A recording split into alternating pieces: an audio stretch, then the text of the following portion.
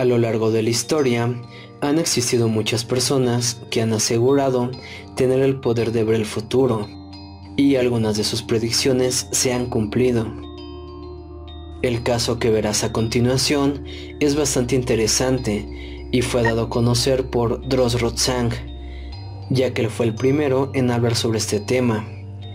Lo que sucede es que existe un canal llamado 2020 Visión, creado el 15 de junio de 2017. Lo extraño de este canal es que en sus videos, precisamente del mismo año, predice la muerte de varias celebridades que murieron en el año 2020, como Eddie Van Halen, Chadwick Boseman y Kobe Bryant. Esta cuenta tiene 50 videos subidos en el 2017. El primero es uno titulado Ojos Abiertos. Y el último se llama Ojos Cerrados.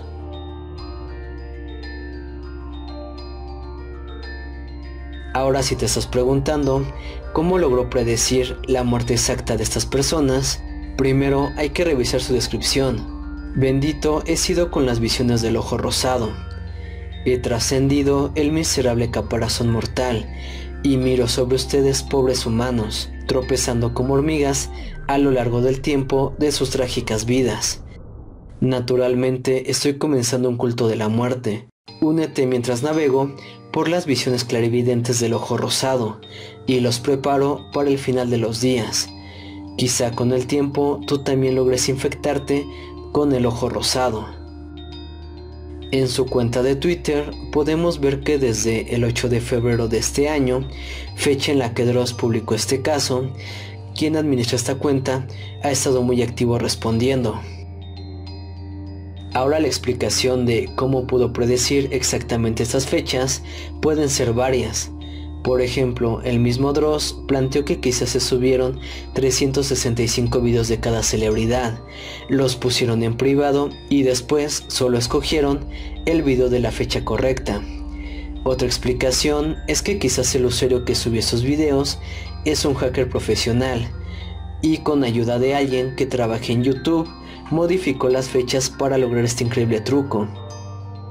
La tercera explicación, hecha por el canal Eduram, es que en lugar de que se hayan subido 365 videos, solo subieron uno en forma de bucle, que iba avanzando como si fuera un reloj, y de esta forma solo tuvieron que hacer un recorte en la fecha y el nombre exacto.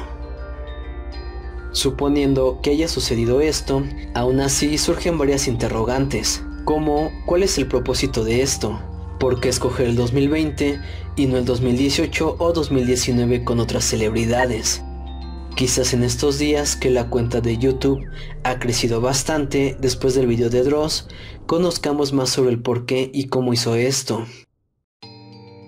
Cabe decir que ya hay una segunda cuenta con el nombre 2021 Visión, la cual parece ser que fue creada por otra persona, ya que está agregando otras redes sociales que no tenía la cuenta original. Y bueno amigos, esto ha sido todo por el día de hoy. Coméntenme aquí abajo cuál es su opinión sobre este tema. Recuerden suscribirse y activar la campana de las notificaciones para que no se pierdan de ningún contenido. Cuídense mucho, nos vemos hasta la próxima.